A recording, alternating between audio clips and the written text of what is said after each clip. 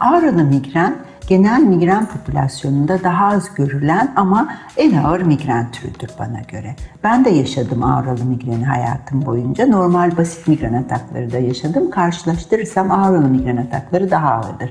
Hatta benim hastalarım için de daha ağır, sadece böyle çok yoğun aura yaşayanlar da var. Çok sıkıntılı bir tablodur. Nasıl bir şeydir? Aura dediğimiz şey e, bir e, gözle daha çok görsel bulguların olduğu, gözde ışıklı noktalar, gözün önünde uçuşan görüntüler ve görmemeye kadar giden bir tablo. Aynı zamanda vücutta uyuşma, kuvvetsizlik, güçsüzlük ve beraberinde bir sıkıntı hali.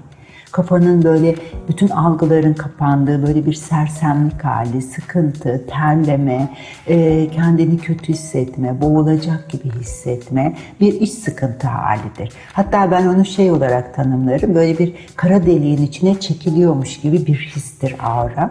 E, ve auralı migrende iki türlü olabilir. Auralar olur, onlar biter, baş ağrısı başlayabilir. Ama sadece auralarla giden sessiz migren dediğimiz baş ağrısı olmayan migren tipleri de vardır. Hatta e, hayatı boyunca hiç başım ağrımadı deyip ama gözünün önünde zaman zaman böyle uçuşan noktalar, ışıklı noktalar gören kişileri de auralı migren grubuna dahil edebiliriz.